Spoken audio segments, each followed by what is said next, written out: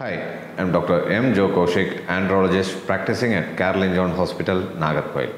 Today I'm going to discuss about microsurgical testicular sperm extraction. So first we should know for whom this procedure is indicated. This procedure is indicated in patients with azoospermia, especially non-obstructive azoospermia. So for that we should know what are the two types of azoospermia. Azoospermia means there is no sperm in the ejaculated semen. So the two types of azoospermia are obstructive azoospermia and the second one is non-obstructive azoospermia. So obstructive azoospermia is there is a obstruction in the passage of the sperm which comes out through the urethra which means there is a obstruction in the vas deferens. So the non-obstructive azoospermia means there is a reduction in the production of the sperm which means there is no production in the testis.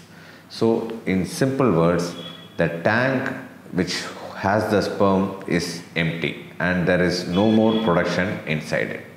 So in the case of non-obstructive azoospermia, we can plan for microsurgical testicular sperm extraction which has an enormous success rate of around 70 to 80 percent if we properly prepare the patient before the surgery. So how can we tell that there is uh, like when there is no production this micro TESE will help. If a person has come to us with non-obstructive azoospermia, it means in his ejaculated semen there is no sperm. But if we see for the intratesticular sperm, there is a high chance of finding spermatogenic foci, which means there will be at least some areas which will have a sperm which is able to fertilize the egg but it is not ejaculated in the semen. So in microsurgical testicular sperm extraction, we will magnify the testis after opening it up to 30x of magnification and in that magnification first we will try to find out the spermatogenic foci.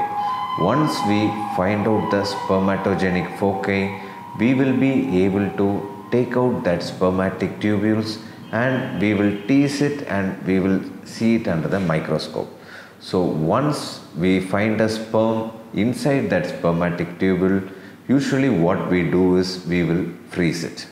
So in this case, the success rate of getting a sperm in case of non-obstructive azoospermia will be as high as 70 to 80 percent, which means out of 10 patients with non-obstructive azoospermia, we will be able to retrieve the sperm in almost 7 to 8 patients.